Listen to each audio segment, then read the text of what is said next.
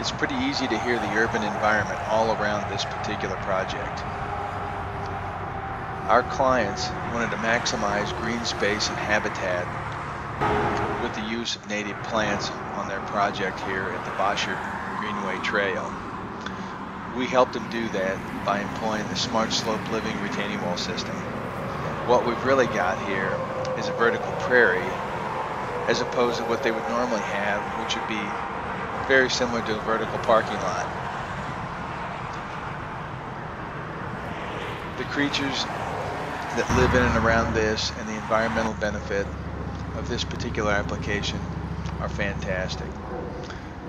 We're helping our client, Great Rivers Greenway, accomplish their goal of returning the maximum amount of green space to the built environment.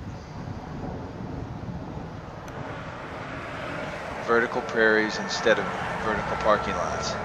Pretty cool concept, isn't it?